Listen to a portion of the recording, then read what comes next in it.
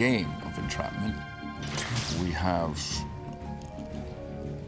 somebody who's coming after somebody who gets snared and thinks they're doing the snaring. She knows how to do it. She's planned all this. You know, this is nothing that just kind of springs up overnight. As Shakespeare said, things are not always what they seem.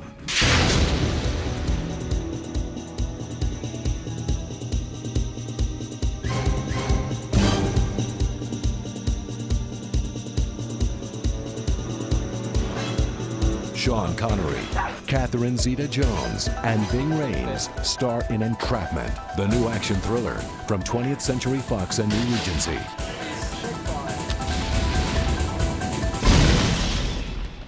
It starts really with um, uh, a very intriguing heist in New York. This was 70 stories up with smart glass windows. This is classic Mac. He's a wealthy guy. He doesn't have to steal anymore. You think this guy steals because he has to? She's an insurance investigator. When you first see her, she's been on to this guy, Mac, who's played by Sean for a long time. We sent a couple of guys after him. They were both men. Why are you following me? I've got a proposition for you. You are keeping it strictly business, right, Mac? Strictly. My character has a partnership with Sean Connery's character, and it's a bit of a chess game. First we try. Then we trust. You also see the relationship between these two uh, seeming adversaries become more and more complex, more and more rich. Has there ever been anyone you couldn't seduce? No. Did he take the bait? She wants to go in and trick him and catch him. You're the most beautiful crook I've ever seen. He's kind of teaching her and actually becoming more and more sort of emotionally involved with her against his own wisdom, maybe not. Uh, judgment, yes. You change partners. You change the rules. What is this stuff we are downloading? The loot is right in there. Sean Connery is a joy to work with. He gets it, he knows exactly what's needed and how to achieve it with maximum economy. Watching him step in front of the camera is a daily revelation. But when the camera turns, you realize why he's an icon. This mask thing better be worth it. Oh, it is. He's an actor's actor. Um, he's very classy. He's a gentleman. I'm saying it better be worth it for me. It's been very exciting to work with an actor of his caliber. She's over her head. It's not going to happen. What about this other big, giant, huge job you all cute about in Scotland, huh? Now, you wouldn't be trying to cut a brother out of anything, would There's you, Mac? nothing to cut you out of. Cut him!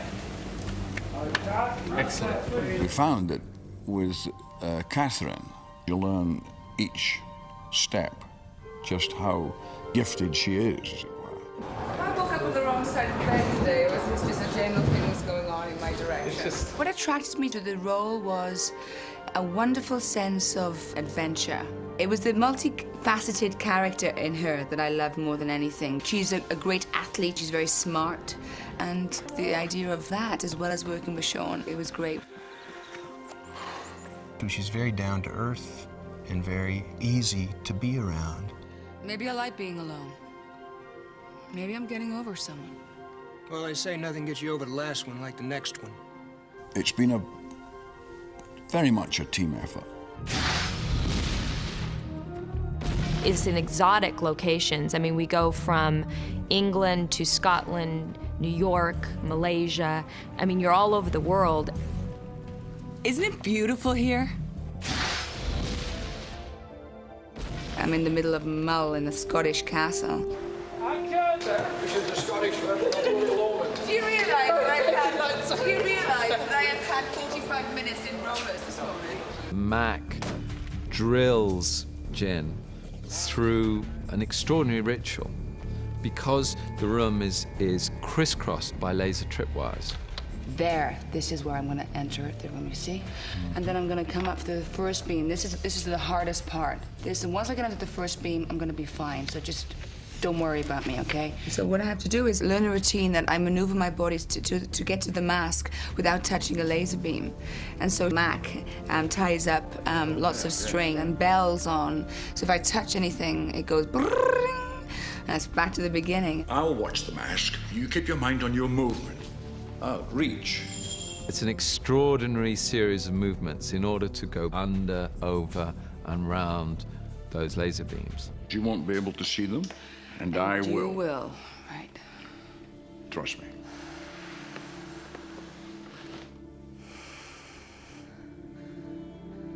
As a team, they're unbeatable. They do succeed and fail. The gallery itself that they rob is in Bedford Palace, an enormous 17th century building.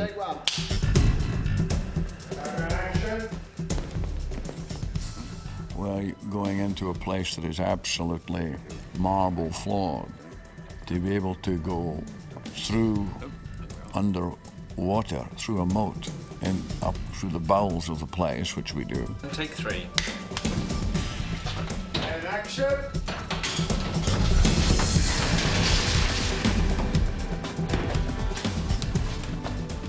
and spot a place where we come up through the floor. We have brought the equipment with us, just the two of us, enough to blast and come in the inside of the place. But that's only the very beginning of all the problems of security. The other things to be overcome, you really have to see the film. The big finale basically takes place in Malaysia in the tallest building in the world. And where we are here today in Kuala Lumpur, I was really surprised at how magnificent the Petronas Towers are, you know, the Twin Towers. Basically, she gets him to do a series of heists in which they gravitate to the absolute momentum of being here in Kuala Lumpur, where on the night of the millennium, the takeover of the new century, they have the biggest heist ever, ever, ever committed.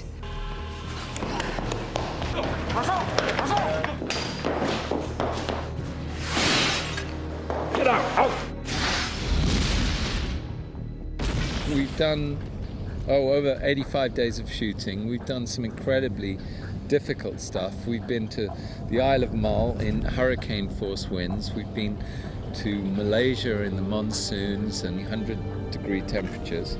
To me, this is just uh, is a walk in the park. This is a shot of the director doing what directors do worst, which is waiting.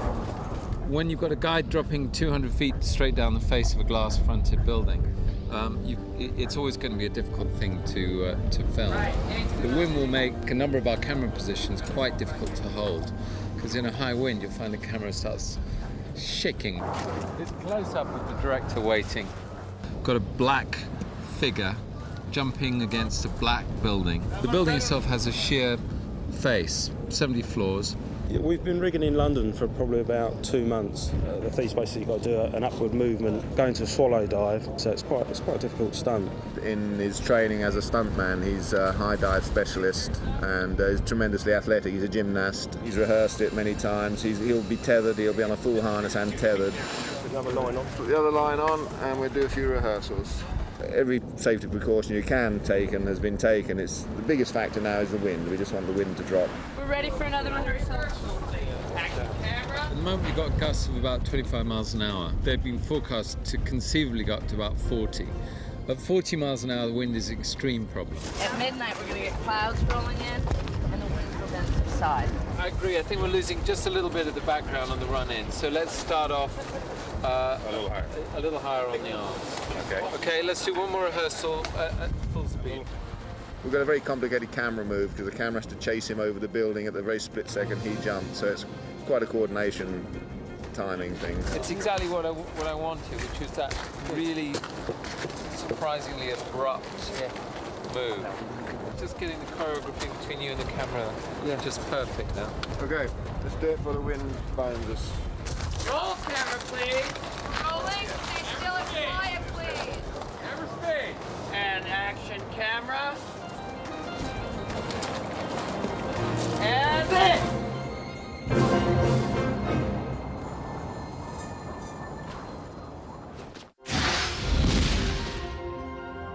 So I first experience working with Catherine, and she's an absolute dream. She's fantastic. She's game for anything, and she's so supple.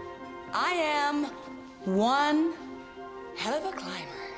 I had to go up on a beam, 20, 30 foot or something, and I had to do like a back bend. It's in the movie. I do like a back bend on the beam, you know. So I take my bacon sandwich out of my mouth, get out there and do it. I never think about those things until after. But I thought, I can't believe I did that. And Jon, our director, was going, "You're the only actress who would do that." I said, "No, I'm the only crazy person to do this. Let's not be too um, complimentary." It's very clever.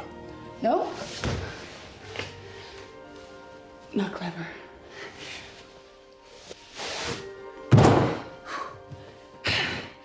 It was perfect. She's up for everything.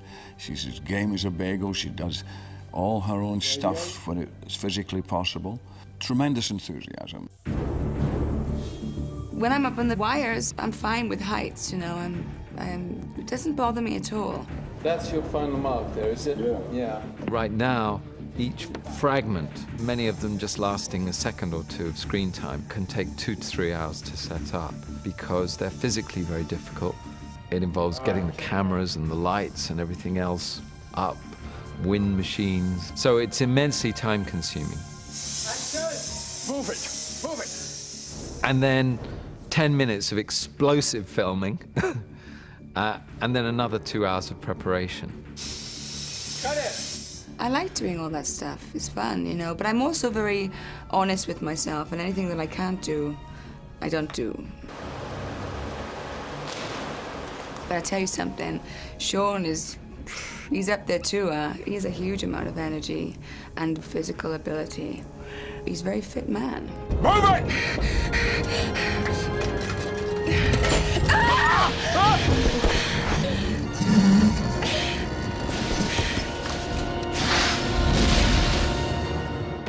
It is a journey of a film. It's in, in that it's a, it's a thriller.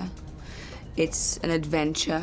A room with a view. I give you the world's tallest building and home of the International Clearance Bank. Do I have your attention now? Undivided. It's got a wit. It's got uh, a very intriguing kind of romantic element, and uh, it has quite a sting in the tail at the end. 35 seconds. Weren't we partners? You're playing both sides. There are a lot of twists and turns. I mean, nobody is who they seem to be. No, Nice try. It has a combination of action, romance, intriguing characters. This is big enough, man. Hold on! It's never big enough. It's high tech, it's 20th century, it's millennium. It's a thriller. This is called entrapment. No, actually, it's called blackmail. Entrapment is what cops do to thieves. You coming? And then it has Sean Connery.